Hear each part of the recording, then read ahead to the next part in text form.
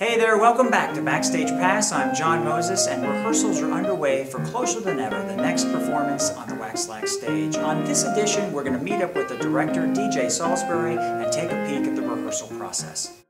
Hi, I'm DJ Salisbury. I'm the director choreographer of Closer Than Ever. Uh, it's a revue that I saw in 1989 at the Cherry Lane Theater in New York City, a revue of uh, the composing team of Maltby and Shire. They had a couple of Broadway shows. Big was one of them, uh, based upon the film with Tom Hanks, and Baby, a show about uh, what it's like for three different couples at different stages of their life when they become pregnant and how it affects their relationships. So this uh, revue has some songs from those shows, uh, their existing musicals, but it's essentially a collection of songs about life passages. And uh, what I love about this material is that the songs deal with things that we all deal with as human beings that aren't typically put into song. Um, example being, you know, when someone has divorced and they have to start dating again. And there's a song called Dating Again, which is a lot of fun, but it's also, it, doesn't shy away from like the challenges of that very thing.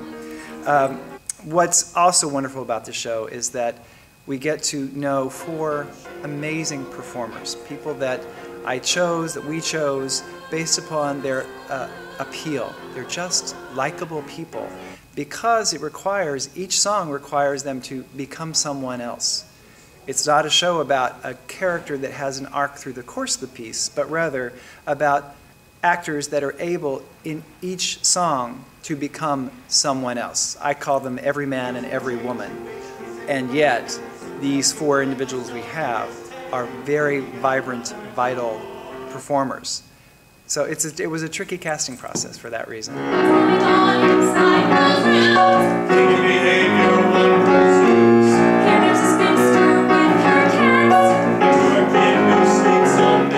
Director sings as well, but Brent Frederick, very glad to have him. We've worked together in a couple of pieces.